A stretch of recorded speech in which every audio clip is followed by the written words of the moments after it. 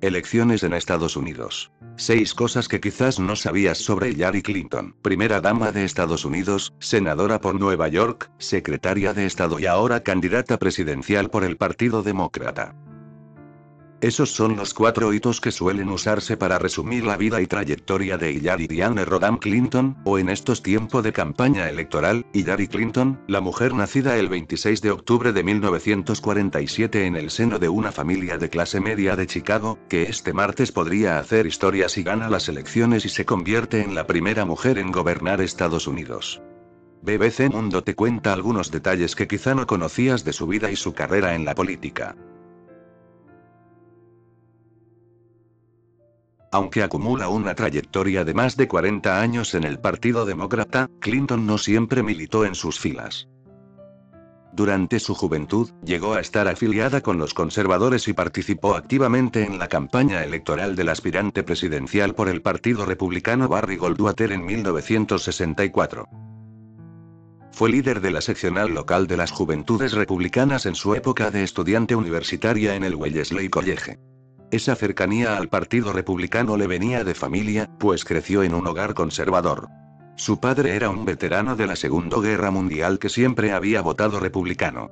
En la universidad, Clinton se fue acercando progresivamente al movimiento por los derechos civiles y a los activistas contra la guerra de Vietnam. Eran tiempos de cambio y 1968 fue un año clave. Al igual que gran parte del país, Clinton se sintió sacudida por la noticia del asesinato de Martin Luther King Jr.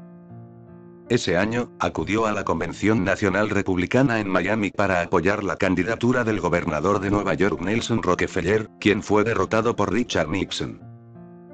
Entonces, Clinton abandonó a los republicanos para siempre.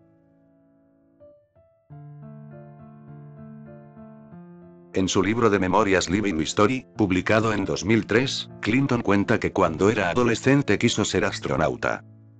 El presidente Kennedy acababa de iniciar su campaña para llegar a la Luna, era 1961, y yo tenía como 14 años y así que escribí esta carta a la NASA, les pregunté cuáles eran los requisitos para ser astronauta y les conté algunas cosas acerca de mí, relató en el libro.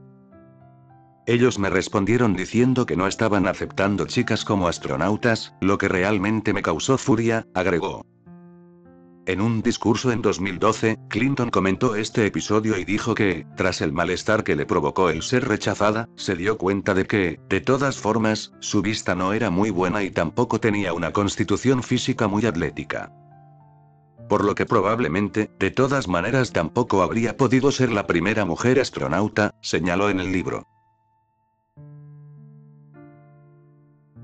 Hillary se casó en el año 1975 con Bill Clinton, quien en 1993 llegaría a ser presidente de Estados Unidos. Eso sí, solo después de que él se lo propusiera por tercera vez, la primera había sido en 1973. La pareja se había conocido en la Universidad de Yale, donde ambos estudiaban Derecho. En una reseña de la boda publicada entonces en el Arkansas Gazette, donde se casaron, se señalaba que ella seguiría usando su nombre de soltera. Hillary Rodham. La razón. Ella quería mantener su vida profesional separada de la de su marido. Yo necesitaba tener mi propia identidad, dijo posteriormente. La decisión de no adoptar el apellido de casada en una sociedad conservadora fue usada políticamente en contra de Bill Clinton cuando se postuló por primera vez al cargo de gobernador de Arkansas. A comienzos de la década de 1980, ella decidió empezar a usar el apellido Clinton para evitar que ese asunto siguiera dañando la imagen de su matrimonio y de su esposo entre los votantes. A partir de entonces comenzó a llamarse Hillary Rodham Clinton. Su apellido de soltera empezaría a desvanecerse en el año 2000, cuando se postuló como candidata al Senado por Nueva York. En esa campaña aparecía simplemente como Hillary. En octubre de 2001 se registró el dominio web hillaryclinton.com. El Rodam había pasado a la historia.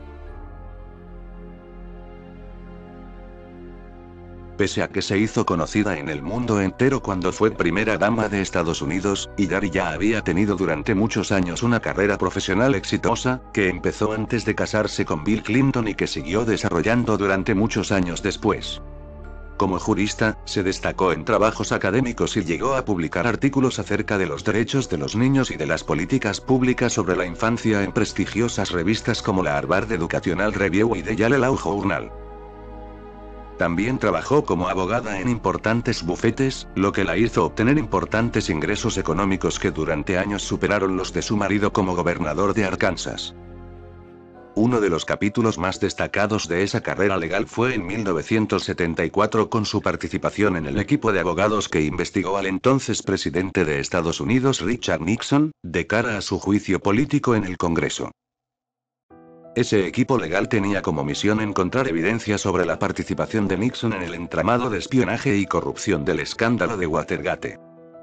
Nixon renunció a su cargo en agosto de 1974 antes de ser sometido al impeachment, pero se considera que esa investigación en la que participó Clinton fue un elemento fundamental en la decisión del mandatario de dimitir.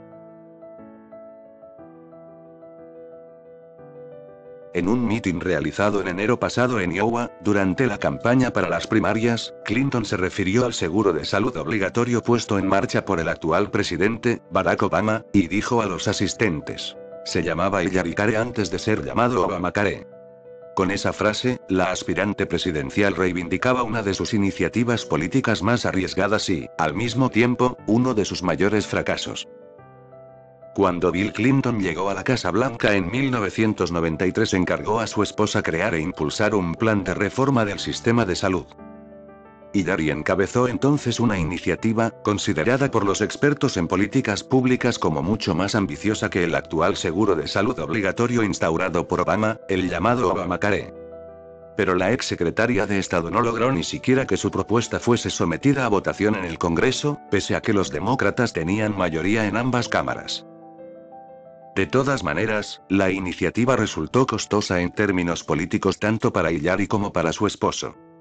Durante la campaña para las legislativas de 1994, los republicanos usaron el Yaricare como un arma de ataque contra el gobierno y contra los demócratas, que perdieron el control tanto del Senado como de la Cámara de Representantes. Algunos analistas aseguran que ese fracaso sirvió años después para que Obama tuviera conciencia de las dificultades de impulsar una reforma radical del sistema de salud y se conformara con una propuesta más moderada, pero con mayores opciones de ser aprobada. Otra cosa que quizá no se conozca tanto es que Hillary Clinton ganó uno de los premios que entrega a la Academia de la Música de Estados Unidos. En 1996 obtuvo el Grammy a Mejor Álbum Hablado por la versión en audio de su libro, Itaques a Village No Lessons Children Teachus, traducido como Es labor de todos. Dejemos que los niños nos enseñen. En el libro, publicado cuando Hillary Clinton era primera dama, la candidata demócrata habla sobre la responsabilidad de la sociedad en la crianza de un niño, desde la familia directa, pasando por la escuela, médicos, políticos y organizaciones sin ánimo de lucro, entre otros. Se atribuye el título del libro a un proverbio africano que dice se necesita un pueblo para criar un niño. Su publicación no estuvo exenta de controversia. El Partido Republicano la criticó por su visión comunitaria. Varios de sus representantes, como el candidato republicano en las elecciones presidenciales de 1996, Bob Dole, respondieron diciendo que la responsable de la crianza es la familia. Además, el libro fue escrito conjuntamente con la periodista estadounidense Barbara Feynman, pero no se le dio crédito en sus páginas. Esta nota fue originalmente publicada el 25 de julio de 2016 y se actualizó con motivo del fin de la campaña en Estados Unidos.